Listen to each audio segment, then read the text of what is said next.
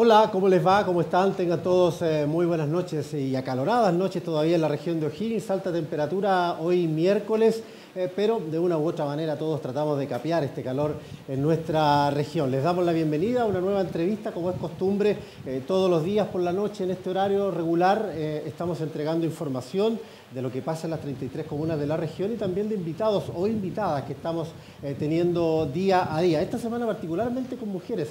Estuvimos con la subsecretaria de la Educación Parvularia, ¿se acuerda usted? Y que fue eh, muy atractivo y agradecemos que nos haya interaccionado de muy buena manera a propósito de ese tema tan importante como es la educación. Hoy vamos a hablar también de la mujer eh, con una de las autoridades nacionales en esta cartera, como es la ministra subrogante de la Mujer y la Equidad de Género, Carolina eh, Cuevas Merino, que le damos las gracias por estar con nosotros, eh, por estar con nosotros acá en GTV. ¿Cómo le va?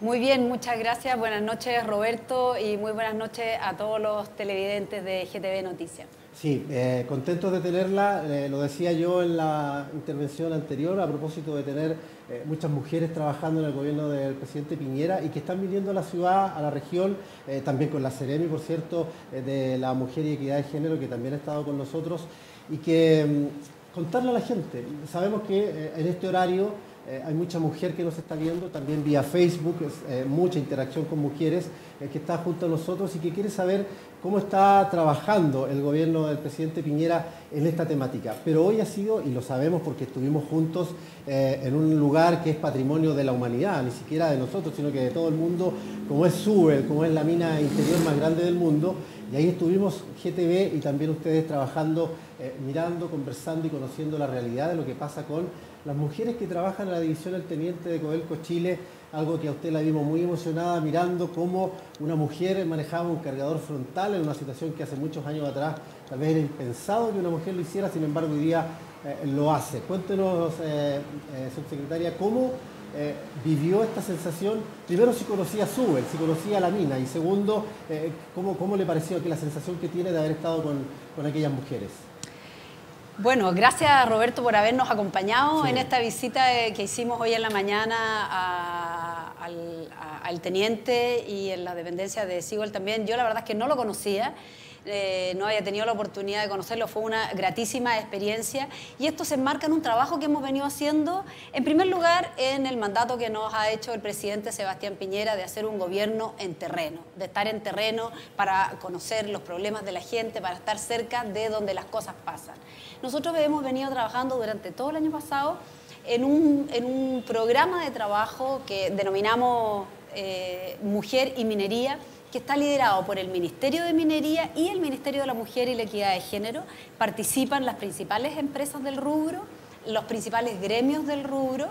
Y el año pasado hicimos un hito muy importante, en, noviembre creo del, del año pasado firmamos un decálogo con estas empresas donde ellos asumen un compromiso de 10, en realidad, compromisos relevantes para avanzar principalmente en qué? en aumentar la participación de más mujeres en la industria minera. Todavía en Chile solamente un 8% de la fuerza laboral en esta industria son mujeres. Entonces, obviamente que ahí hay un principal desafío. Por otro lado, asegurar que cada día haya más y mejores ambientes de trabajo y lugares donde esas mujeres realmente puedan ser acogidas, donde exista conciliación entre la vida laboral y familiar para hombres y para mujeres, ojo, no solo para mujeres, y también donde sea posible que las mujeres desarrollen y hagan una carrera dentro de, esa industria y puedan llegar a las posiciones de liderazgo, puedan ser gerentes de planta, puedan ser gerentes de mina y puedan ser gerentes generales también. ¿eh? entonces, ese es el grande rasgo y en, esa, en el marco de ese trabajo es donde hace un tiempo veníamos coordinando con Codelco, el teniente, la posibilidad de hacer esta visita por distintas razones, todavía no habíamos podido llegar y finalmente pudimos concretarlo hoy día. Y como tú adelantabas, la verdad es que fue una experiencia gratísima poder ver a las mujeres cómo salen adelante, cómo se desarrollan de igual a igual en un ambiente que naturalmente la gente lo asociaba o tradicionalmente solo para los hombres estar en un, sobre todo en una mina subterránea. Esta es la mina subterránea más grande del mundo. Entonces, estar ahí, estar desempeñándose en, con estos equipamientos, con esta maquinaria gigante, conocimos la experiencia de algunas mujeres ahí que realmente nos llenan de orgullo. Estamos mirando, de hecho, imágenes de lo que ocurrió esta mañana. Esas son imágenes recién editadas por por nuestro equipo de trabajo y ahí podemos vernos todos nosotros porque estuvimos eh, caminando junto a ustedes eh, con eh, esta actividad muy atractiva. Ahí la vemos a usted conversando con, mujeres particularmente. Es bien impresionante. sí, ahí está Carolina, la, mujer que maneja un cargador frontal, uno de estos que trabaja en plena producción, sacando todo lo que es la roca, después enviándola a los piques de vaciado, de verdad. bueno, el ejemplo, perdona Roberto que te interrumpa, el ejemplo de Carolina es un, es un ejemplo que hay que destacar y visibilizar. Ella eh, es una mujer que se formó aquí, se formó en Codelco. Ella no tiene formación profesional, pero tiene toda la formación técnica que recibió en la propia empresa y hoy día sale adelante, tiene dos hijos eh, en el colegio. Ella, ella está muy orgullosa, muy contenta con lo que ha hecho, con cómo se ha desarrollado tanto personal como profesionalmente. Y ojalá el ejemplo de Carolina sirva para muchas otras mujeres que es posible desarrollarse ahí también. Mm. Y que, y que puede ser una, una opción vocacional y una alternativa laboral para muchas otras mujeres también. Claramente. De hecho, eh, bueno, todos sabemos que eh, a partir de la minera del Teniente, Calama, El Salvador, Landina y otras mineras que, que ya Chancón, ahora acá, que son pequeños y medianos eh, empresarios de la minería, siempre fue ligada a la pala, a la picota, al tema de la fuerza bruta, por decirlo de alguna manera. Y en ese aspecto es que, claro, la mujer no entraba en ese rango y lamentablemente así fue por muchos años. Ahora, claramente vemos a Carolina que no necesita eh, eh, fuerza eh, física para poder ejecutar su trabajo, sino que un tema de capacidades, de adiestramiento, de inteligencia, por lo tanto, en eso la mujer ya ha ido avanzando. Claro, usted señala un 8%, que hoy día es poco y que podría llegar a mucho más.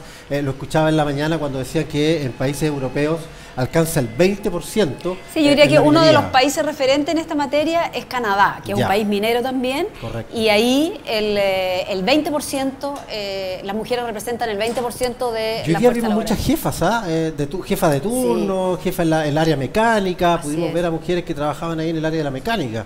Y todas esas mujeres que vimos que estaban ocupando posiciones de jefatura, eh, em, doblemente destacable porque son son pioneras en esos puestos. Entonces es la primera gerente de planta, es la primera jefa de mantenimiento. Entonces, cada una de ellas de alguna manera es una pionera que le abre el espacio para las que vienen detrás. Y eso es muy importante. Por eso es importante que ustedes nos hayan acompañado, que estemos mostrando esto en este momento, para que de manera de, cuando visibilizamos, hacemos que otras mujeres u otras estudiantes que a lo mejor están pensando o no lo habían visto como una posibilidad, vean que aquí también hay una opción de desarrollo y una opción laboral atractiva y interesante. Por cierto. Y en su cartera, em, subsecretaria, está el gobierno lanza este plan de trabajo de educación con equidad de género, un tema que ya lo decía, eh, por la semana tuvimos a la subsecretaria de Educación Parvularia que ya nos planteó algunos temas y nos dejó tarea y de hecho eh, quedó invitada también a su próxima visita. Y esto de la educación con equidad de género, cuéntenos de qué se trata, cuál es la visión de este tema. Sí, perdona, antes que tomemos el tema de la educación, me gustaría comentarte que a, propósito del trabajo Mujeres y Minería, este año Chile es sede de APEC. Ya, Vienen las 21 economías que forman APEC, vamos a tener foros durante todo el año y nosotros vamos a tener un foro especial de mujer y minería, que va a ser en Antofagasta, donde vamos a estar trabajando con las 21 economías que, que, forman APEC y vamos a poder mostrar lo que hacemos en Chile. Por eso también estamos ya en calidad de empezar a mostrar al resto del mundo lo que hacemos. Así que invitar también a las empresas eh, mineras que sigan desarrollándose en esa línea y a las mujeres que vean en esta industria un lugar atractivo también. retomando el tema de la educación, como tú comentabas, había estado, eh, entiendo que estuvo la subsecretaria de Educación Parvularia la semana pasada aquí. Bueno, con ella hemos trabajado de la mano durante todo el año y ahora acabamos de lanzar el Ministerio de Educación y el Ministerio de la Mujer y la Equidad de Género, este plan por la educación con equidad de género. El principal desafío que planteó el presidente Piñera con la presentación de la Agenda Mujer es que en Chile haya igualdad de derechos, deberes, de oportunidades entre hombres y mujeres. Y esa igualdad de derechos, deberes y oportunidades tiene que partir por la educación y por la educación en la primera infancia. Entonces, el presidente nos pidió el año pasado que un trabajo que lideró la subsecretaria de Educación Parvularia y tuvimos una mesa de trabajo y tomando eso como input, más un trabajo que había hecho el ministerio, los equipos técnicos del ministerio, se lanza este plan de trabajo conjunto eh, la semana pasada entre los dos ministerios que busca básicamente asegurar una educación de calidad sin sesgos y sin estereotipos entre niños y niñas, hombres y mujeres. En segundo lugar, ampliar las posibilidades vocacionales de las niñas, pensando en, por ejemplo, en que las mujeres sí piensen en que pueden desarrollarse en la minería, como estábamos conversando recién, y ahí se abre una línea de trabajo relevante en el mundo STEM, que son las siglas en inglés para referirse al mundo de las ciencias, la tecnología, la ingeniería y las matemáticas. Ahí hay toda una línea de trabajo. Y el tercer foco de trabajo es eh, hacernos cargo de eliminar eh, y de no permitir ningún tipo de violencia, discriminación arbitraria en los ambientes educacionales y de que en caso de que ocurra, asegurarnos que existan los mecanismos de denuncia, los protocolos y la asesoría para que ello se desarrolle eh, con la oportunidad y con la celeridad que corresponde. Sin duda, son los puntos de la educación con equidad de género que hoy día se trabaja la subsecretaria y de verdad en eso eh, nosotros también hemos puesto mucha información local y también a nivel eh, nacional. Y otro de los puntos es lanzar este nuevo fono a propósito de la eh, orientación para mujeres en cuanto a la violencia. Es un tema también lamentablemente recurrente, la región de O'Higgins lamentablemente el año pasado y este también cae con estadísticas negativas, pero se trabaja para aquello, ¿no? para a lo menos evitarlo, el tema de la denuncia, el tema del fono, y es que se lanza entonces este nuevo fono que leía yo acá, el 800-104-008, ¿no? No, ese es el teléfono que teníamos hasta ahora. Ese es el anterior, ah, correcto. El, el, problema que lo que ese teléfono era un poco difícil de memorizar ah, porque es un teléfono más o menos largo. Ahora tiene cuatro cifras. Es claro. Entonces, ahora es el 1455. Ese, 1455. Lo que queremos es hacerle la vida más fácil a las personas que quieren acercarse. Acuérdate que este es un fono de orientación. Entonces, todos aquellos que tengan alguna duda, alguna consulta, ya sea porque están siendo víctimas en primera persona de algún tipo de violencia o porque son, están siendo testigos de que una mujer está siendo víctima de violencia, también nos pueden llamar. Entonces quisimos cambiar el número y le pedimos ahí ayuda a la Subsecretaría de, Telecomunicaciones que nos asignó este número 1455 que es mucho más fácil de memorizar, de recordar. Incluso la gente puede llamar de celular sin saldo, puede llamar a ese número. Sí, de hecho ya está en pantalla ahí para que la gente lo vea y lo recuerde, el 1455. El, otro número, el 800, va a seguir vigente durante, durante, todo el primer año. Ya por la gente que lo tenía registrado, que se lo sabía, porque teníamos folletería, etcétera, van a, van a mantener los dos. Este es un fono, como te digo, de orientación, donde invitamos a la gente a que nos llame, a que pregunte, a que no nos quedemos con la duda de si tengo que hacer algo o no tengo que hacer algo o qué puedo hacer. Este no es un teléfono para hacer denuncia, pero ahí sí le vamos a dar toda la orientación. es un teléfono anónimo, digamos, dentro de la... Es un teléfono, es un teléfono anónimo. El que entrega la información no queda registrado porque mucha gente que eh, tiene el conocimiento de estas situaciones y lo que hace teme que el vecino o la vecina sepa que es él o ella el que está llamando. Entonces en este aspecto hay una situación anónima. Exactamente. Y los canales de denuncia siguen siendo los que han sido siempre, que es las policías, PDI, carabineros, la misma fiscalía. Pero cuando la gente realmente no sabe bien cómo hacerlo, recomendamos sí puede hacer eh, uso de este teléfono de, orientación y que además funciona las 24 horas del día, los 7 días de la semana. Correcto. Em, los alcances de estos convenios entonces son importantes a propósito de lo que estábamos hablando de la educación, eh, que es lo que nos queda muy, muy claro a propósito de lo que está pasando eh, con el tema de la, de la, primera edad, la educación parvularia, la educación superior, también las más vocaciones y oportunidades. Eso me, me, llama la atención a propósito de que niñas y mujeres adolescentes elijan libremente eh, el proyecto de vida. Claro, claro, si tú miras la visita que hicimos hoy día en la mañana, que en minería haya solo un 8% de mujeres trabajando o que la fuerza laboral de esa industria sea solo un 8%, uno dice, en realidad, ¿por qué? Y tiene que ver con una, una mirada un poco histórica de ciertos como roles que han... Primero, ciertos roles o estereotipos, llamo algunos, que han sido asignados a los hombres y a las mujeres. Primero, acuérdate que las mujeres teníamos el rol que teníamos que estar solamente en la casa, tener hijos y nada más. No podía, las mujeres no podíamos estudiar. Mm. Hoy día estamos eh, conmemorando la, el, 6 de, el 6 de febrero, es cuando se promulgó el decreto, eh, creo que era el 152 de, de Amunategui, donde permitió que las mujeres pudiéramos estudiar. Imagínate que las mujeres antes ni siquiera por ley podíamos estudiar. Entonces primero nos incorporamos a estudiar, después pudimos votar Después pudimos trabajar, pero de a poco empezamos a poder trabajar. Entonces, hemos ido ganando, ganando, ganando espacios, pero, pero eh, una vez que la mujer entra a trabajar, se ha, ido como manteniendo esa misma, eh, esos mismos roles o estereotipos. Dice, ah, la mujer puede trabajar, pero puede trabajar de secretaria.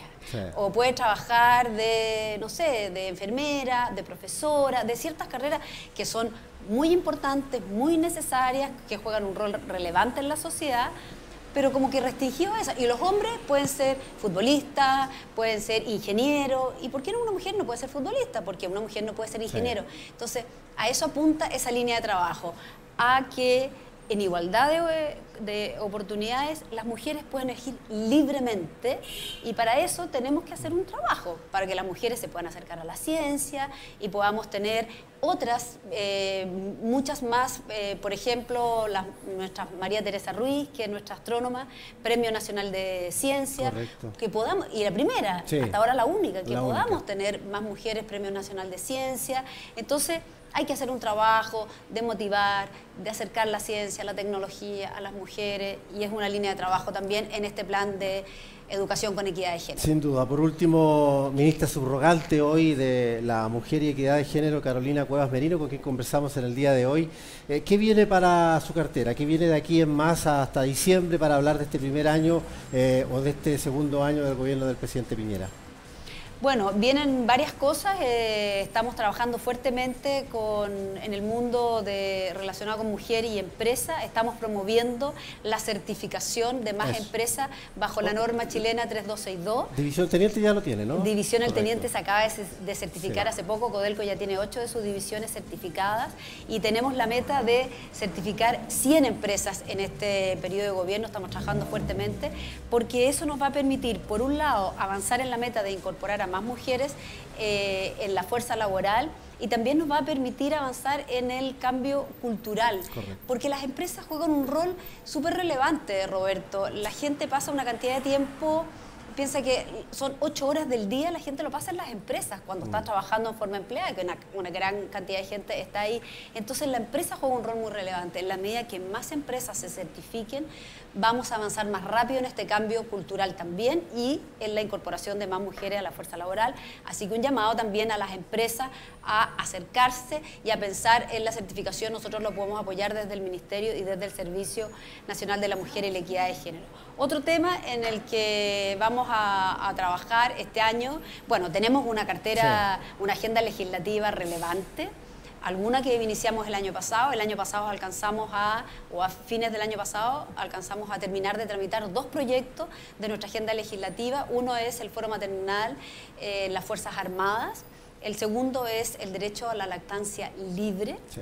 Eh, que acaban de ser eh, promulgados, terminados de tramitar. Nos quedan proyectos relevantes este año, como terminar de tramitar el proyecto del derecho a la mujer a una vida libre de violencia, que terminó su primer trámite constitucional, ahora pasó al Senado y es un proyecto largo, es un proyecto que eh, lo, se inició en la administración anterior y que el presidente Piñera lo incluyó en el programa de gobierno porque nos parece que es un buen marco de donde eh, de alguna manera se refunde toda la legislación que tiene que ver con violencia, se tocan distintos cuerpos legales y se resume en un solo, en un solo proyecto que también es relevante. Como te comentaba antes, también vamos a estar en APEC.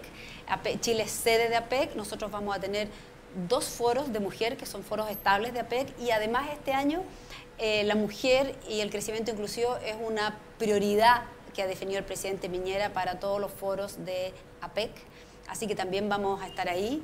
Seguimos con, nuestro, con los programas habituales que tenemos en el, a través del Servicio Nacional de la Mujer y la Equidad de Género, promoviendo también a través del programa Mujeres Jefas de Hogar y del programa Mujer, Asociatividad y Emprendimiento, más mujeres que puedan desarrollar habilitación laboral y que, o que puedan desarrollar un, un, emprendimiento. Así que ahí la invitación a las mujeres de la región de O'Higgins a acercarse a nuestras oficinas del Servicio Nacional de la Mujer y del Ministerio de la Mujer y la Equidad de Género para participar en cualquiera de aquellos programas que, que pueden darle oportunidades laborales o eventualmente de emprendimiento atractivos también a ellas. Sin duda muchos temas, eh, subsecretaria, que le agradecemos que haya venido a contarlos. Vamos a recordar el número que está en pantalla también, el 1455, eh, ese nuevo número de denuncia, eh, de orientación también para la violencia contra la mujer, que de verdad nos parece muy atractivo y lo vamos a estar difundiendo en nuestras siguientes emisiones. Le agradezco mucho que haya venido a estar con nosotros, las puertas abiertas tanto usted como la propia Ceremi de la Mujer que siempre está con nosotros para poder difundir lo que pasa en ese tema, en esa temática en la región de O'Higgins y también en el país. Muchas gracias Roberto, gracias por acompañarnos a la visita del teniente y gracias por el rol, porque el rol que tienen los medios de comunicación es muy relevante en avanzar en esta agenda, avanzar en la agenda mujer, en esta igualdad de oportunidades y por sobre todo en erradicar cualquier tipo de violencia contra las mujeres. Ahí todos tenemos algo que aportar. Como no, le agradezco mucho, que esté bien. Gracias, buenas y a ustedes también les agradecemos que estén en sintonía. Siga con nosotros, usted sabe que la noticia de último minuto siempre está aquí en GTV Televisión. Que tenga buena noche.